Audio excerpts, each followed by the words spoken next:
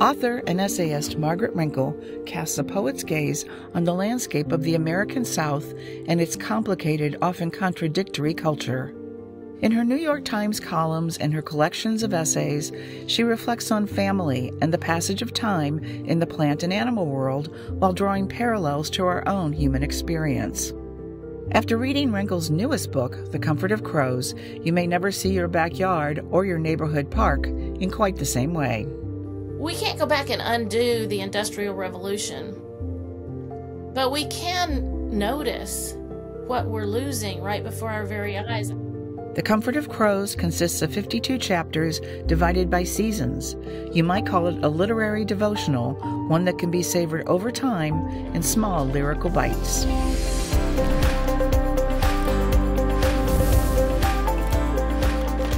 Margaret Renkl, so good to have you here today to talk about the comfort of crows. Thank you for having me, Kathy. I really loved your book. I'm going to hold it up so everyone can see it. It's a beautiful book.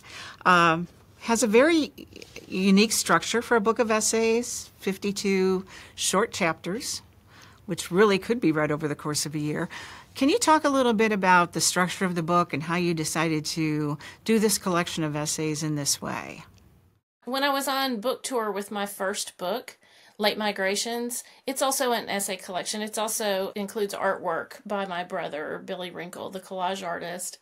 And the book tour was a there was a lot of in and out. Like I would go out for two days and come back, and go out.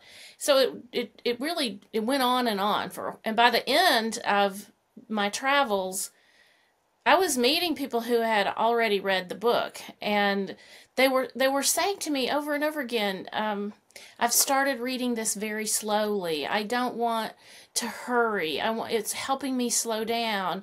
I'm trying to parcel out just one a night or two a night.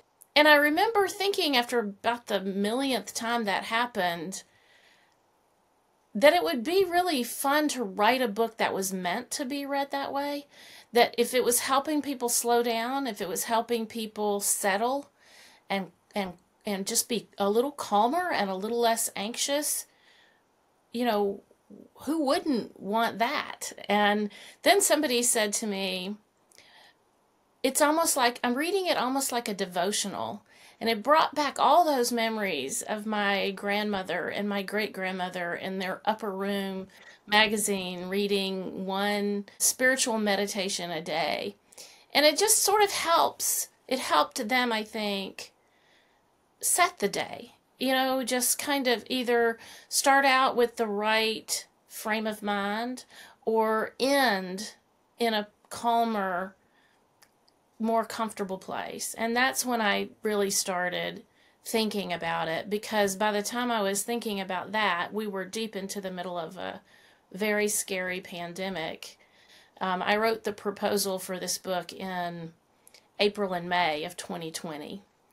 So it was a it was a an anxious time. But also I remembered reading Pilgrim at Tinker Creek by Annie Dillard. I remembered reading Walden by Henry David Thoreau. There were a number of predecessors to this book that made it feel like I was participating in a literary tradition. Just the idea that we experience the seasons in the same way that the other creatures experience the seasons by observing and smelling and hearing and that is such a comfort to me and I and I thought maybe it might be for readers as well. There's a whole raft of books that do this. They don't they're not writing from a first ring suburb in Nashville, Tennessee. I'm thinking about Sue Hubbell's uh, Country Year or Verlyn mm-hmm. Klinkenborg's The Rural Life and certainly Annie Dillard, that the ecosystems would be very different, the creatures very different, but the feeling of kinship was the same. This is a collection of essays about nature, but it's about much more than nature. Um, and it was interesting you mentioned writing this from an inner ring suburb of Nashville. I think anybody who lives, you know, in a normal suburban sort of area, maybe doesn't live in the country, will find a lot of solace in this book and start to look at their backyard in a new way. As you said, it's an ecosystem. If you stop and you think about it and you really look at it, there's a whole you know system of life going on out there and you're so good at identifying that and naming that in here well, I thank you. That's those are very kind words. Um, I do write from the perspective of a rank amateur, though. I'm not. Um, I'm not trained in any science. I don't. I don't have any expertise in observation and recording my observations. It's just a, a natural habit of mine and and in some ways that's a little i don't know i think there's a little bit of a a, a kind of hubris involved in um, setting out to write a book a, about nature from a position of s- such great ignorance.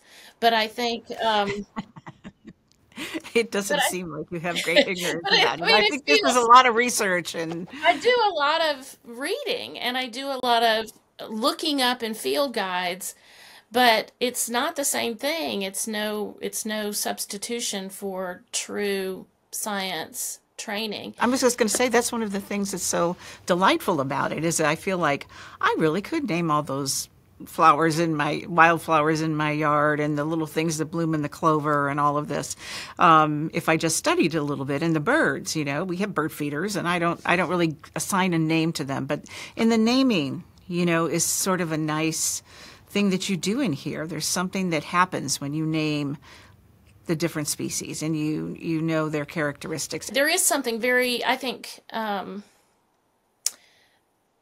human about naming. Like I don't think the creatures I don't know this for sure, but I don't think the creatures in my yard or yours are out there naming each other. But they recognize one another. They know one another. They recognize individuals and of course whole species. The songbirds will always mob up. It's called a songbird mob. They'll mob up when there's an owl in the yard or a hawk in the yard. They um, cooperate. So I think they do know one another and they do recognize really crucial facets of the, the other species' um, way of being in the world. But we tend not to. And I just find that so interesting you know, we talk in, in um, nature writing about how how terrible it is to anthropomorphize nature.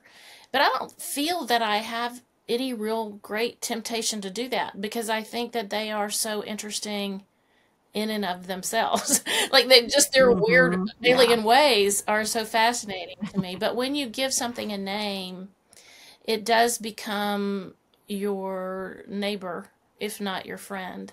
You talk a lot here in the book about sort of how we've all become so removed from nature. You know, you can easily, today, it's winter, you know, I could go home, get in my garage, get in my house, never really step outside and have that experience. And so part of your book is a call to stop and kind of look at some of that. Is that intentional? Absolutely intentional. Because I, I sit here in my little home office and there's a window and I see my neighbors walking around. And so even when we're in the world, we're so rarely in it. You know, we're looking at our phones, we have our earbuds in, listening to a podcast or music, and we aren't hearing the birds and we aren't noticing the other creatures with whom we share this habitat. And I and I think that's a very to a very large degree our problem as a species because we we can't go back and undo the industrial revolution but we can notice what we're losing right before our very eyes. I you know i, I just think if we don't notice we won't take measures to change ourselves in our world you talk a lot about every time that a, a, small house or a house with a real natural sort of yard, you know, goes up for sale or one of your elderly neighbors passes away and the house changes over. There's a lot of tear down and building something new. And with that comes a very tended yard and lawn with maybe some chemicals. And you talk, a, I mean, this isn't a preachy book by any stretch of the imagination, but it's written from the point of view of someone who observes that loss the the whole problem with a lawn there's so many problems with the american lawn it We don't generally um, think about those problems though, because the the problems are marketed to us in innocuous ways. For example, you you use the word chemical and I use the word chemical as well, but really what we're talking about is poison. We're talking about chemicals that are designed to kill weeds or to kill seeds before they can germinate. And those poisons we aren't thinking of them as dangerous to the creatures who share our ecosystems, and we're certainly not thinking that they're dangerous to us. If we thought they were dangerous to us, they wouldn't be anywhere near us. But so many times you see the same people who are driving to Whole Foods to buy organic milk letting their children run barefoot across lawns that have been absolutely drenched with poison. And you'll see these little bitty signs that the lawn services will leave around next to the mailbox that says the lawn is feeding or the lawn has been treated and um, stay off until it's dry as those, those as though those chemicals disappear when they dry or mm-hmm. as though mm-hmm. they don't mm-hmm. renew their um, potency when they get rained on. So it's, um, I think a lot of our failure to understand what's happening is is just because our culture is designed to make sure we don't understand what's happening. Mm. And nobody who goes to Home Depot or Lowe's to the lawn care aisle and who sees the picture of the green grass on the fertilizer, nobody is thinking to themselves, "Oh, why don't I kill some bugs so that the baby birds in my yard have nothing to eat or have only poisoned insects to eat?" We don't think that. We don't know that's what we're doing. We're just um, busy. I think we're all just busy. What does your yard look like? I found myself wondering as I read your book. a lot of leaves right now? If I showed you my yard, you would be very disappointed. It is, it is um, scraggly, and we've been in our house for 28 and a half years. And it looks really different now than it did when we first moved in. When we first moved in, it was grass and it was privet and it was nandina. Um, the the things that were fashionable when this house was built in 1950. We don't mow. We let the wildflowers spring up, the the spring beauties and the violets and the oxalis and even the dandelions because the bees that emerge in early springtime they will have nothing to eat if everybody kills the what they think of as weeds because the traditional gardens aren't blooming yet in early March. But the spring beauties and the woodland violets, um, they're they're there. The daisy fleabane, they're there, and and we only mow the parts of the yard that we use. I try to keep a balance between what I know my wild neighbors need and what my human neighbors would prefer and I, right. I try to find a nice little balance there.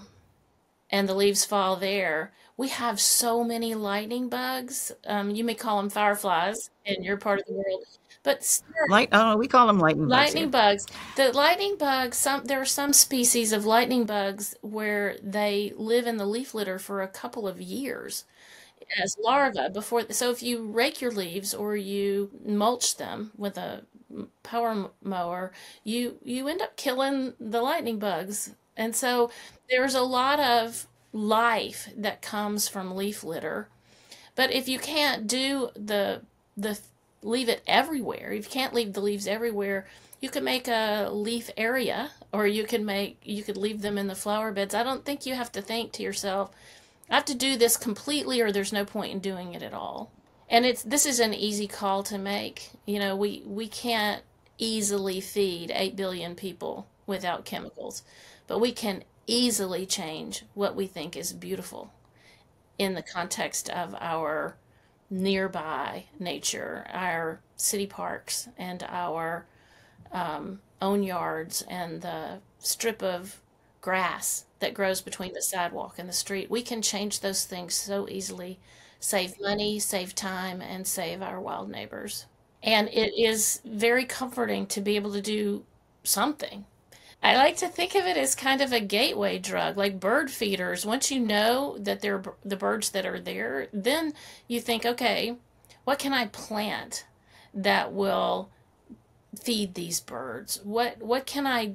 It's a cascading effect, and and I think that's not because you you're doing the right thing, even though you are. I think it's because you're doing something that makes you feel good, and we don't ever do anything just because we should do it. Very, very few of us just keep doing a hard thing because we should. We do a hard thing because we see a benefit to it. We think it's helpful. And I don't think you can underestimate the power of your individual yard, my individual yard, my neighbors, your neighbors, their neighbors. The collective effect of individual action is the same thing as a sea change. I mean, everything that's ever happened for the good in this country has happened because people did that. Can you tell us about crows and why you like crows so much? They are incredibly smart. They can outwit nearly all efforts to dissuade them from a crop or from any other place that we don't want them to be. But the the thing about crows and the reason I find them comforting, the whole reference to to the t- in the in the it's not a book about crows, but what it is is a book about kinship. Mm-hmm. About the way we're connected to our wild neighbors and to each other. And you see that more transparently with crows. In the world of nearby nature, they have the largest brain to body ratio of anything in the wild kingdom except for us and the great apes. They're incredibly clever. They're they have a sense of humor. They play. They engage in play behavior even as adults. When many higher order animals play as youngsters, but crows play as adults. Um, I talk about several examples of crows sledding or windsurfing or playing tricks on one another they hold a grudge. They conduct funerals. They live together in multi generational families.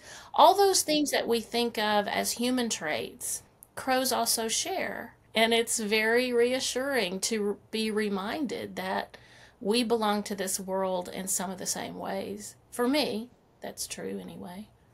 I, I have to mention the beautiful, beautiful artwork in the book. This is your brother's work, your brother Billy. Yes. What was it like to collaborate with him on this? Well, Billy is only a year younger than I am. So, in many ways, we've been collaborating for his entire life and my entire memory. We were, you know, part of that generation where we were not as closely supervised, let us say, as children today are. As long as we stayed together, you know, on the buddy system, mm-hmm. we could go pretty much anywhere we could take ourselves. And where we took ourselves was the was the woods and the fields. So, in some ways, Billy grew up tuned to the same things that I grew up tuned to the same flowers, the same birds, the same trees. But it's, um, it's just something we've always done. We we worked on school publications, high school, college.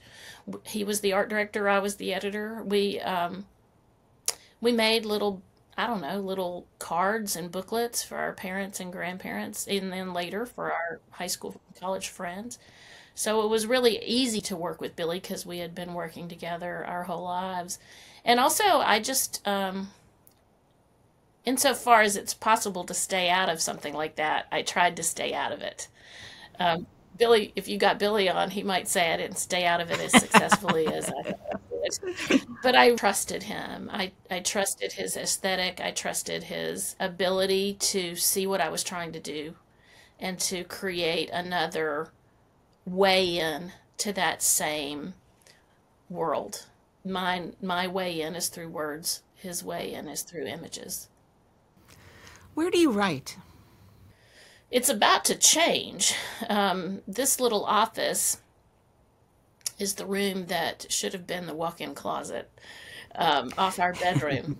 and I and I use it primarily when I when my children were growing up. I I hid away back here behind three closed doors, but once my youngest child went to college, I started working out in our family room because the table that they had you my husband built this just plywood table for them to make art um, to, for all those art projects small children do. And then later, that was where they kept their computers during their, and did their homework. And when my our youngest left for college, I took it over because it looks right out over one of the pollinator gardens. Oh, nice! But it also looks right over my next door neighbor's house, and she died in the spring, and her family sold the house, and it got torn down last week and it's about to be very loud out there. So I'm going to move back in here. I was mainly using this office to do things like answer emails and try in my mind if I could keep the writing separate from the businessy part of being a writer, it would be easier to dive back into a project. It would be easier to get my mind in that space. But I'm going to have to find another way of doing that this year. What's your writing habit like?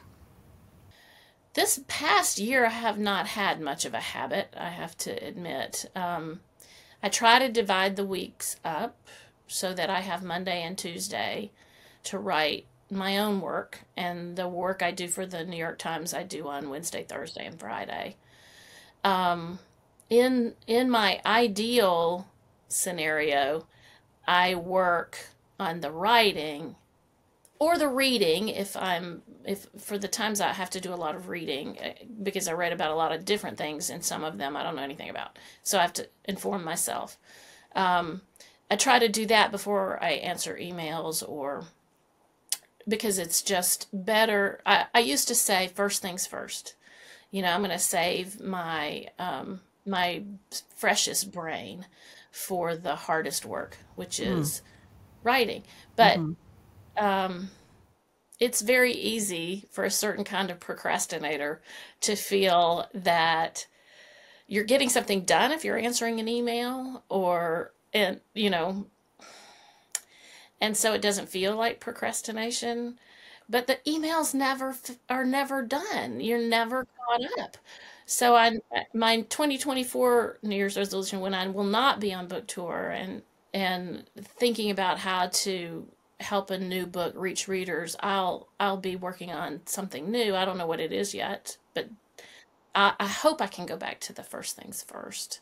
I'm glad you mentioned your New York Times columns because I, I, didn't want to neglect to mention that. I've been following you for a long time in those columns.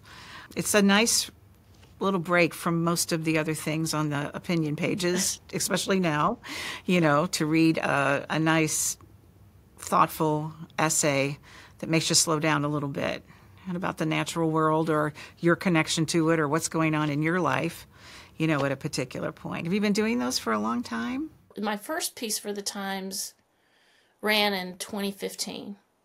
And then I was writing just occasionally whenever I had something, because I had a full time job as an editor. Um, and maybe maybe three times a year, maybe four. But by 2017, I was writing every week. You know, sometimes people will say to me, I, What I love about you is that I can run all the way down the whole list of headlines, and yours is the only one that doesn't have the words Donald Trump in the headline. and but but they don't need me to do that writing. They have plenty of people who comment on national politics. I do write about politics um, here in the South um, when I need to when something particularly egregious is going on in the world of social justice. But um, but generally, I'm I'm more focused on the natural world, on culture, on um, those quieter, slower things. Did you write while you were an editor? I went to graduate school in creative writing. So my intention had always been to write, but I also was a poet in those days. And you know, even when you're 20 years old, that you're never going to support yourself as a poet, or that very few are, and you probably won't be one of them. And so, for the first 10 years out, of, out of school, I was a high school teacher. And then I was a full time writer for national magazines. And then I took an editing job, and I did do some writing quite a bit of writing for the the website Chapter 16, which is a literary publication. You published your first collection of essays a little bit later in life than a lot of people do. Very late. How did that all? very late. How, how did that all happen? It's very encouraging, by the way. Uh, well, it's encouraging to people our age, and not at all Yeah. encouraging to young writers. They they do not want to hear They that, get enough. They get enough. that they might be 57 years old before their first book comes out. I think it's a lot of reasons. I think um, I wasn't writing I, when I was teaching. I was writing mainly in this in the summers. My goal during the school year was one poem a month. So I wasn't highly productive during those years. And then when I was writing for magazines, I didn't want to. That was that was paying my share of the bills. I didn't have time to step away and from income to do conduct a, a long longer project like this. But then I think too that part of part of it was just I wish somebody had told me that the secret to being a writer is is not to have vast stretches of free time in which to write. The secret to being a writer is just to write within the context you're in. And if you're just doing even the smallest amount, a little bit. I wrote Late Migrations in the beginning, the first draft of it, I wrote in probably 15 minutes a day. I just gave myself permission for the first 15 minutes of the day before anybody else was awake in the house to write something. I was going through a lot. My mother had just died, my mother in law was dying, my father in law was uh, failing too, and my children were growing up. There was a lot going on, and 15 minutes a day was all I could spare. But the great thing about writing every single day, even if it's only 15 minutes, is that there's this thing happening in your mind to solve problems, to think of the next thing. The ideas cascade out when your brain is occupied with that work, even when you're just doing something ordinary like folding laundry or loading the dishwasher, walking the dog. So it, I think it's, um, I think it took a long time because it took me a long time to discover that truth.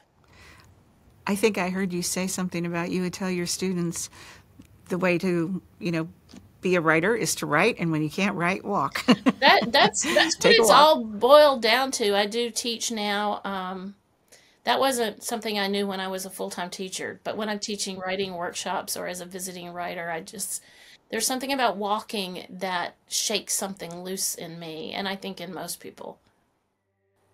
Stop and think for a time about kinship.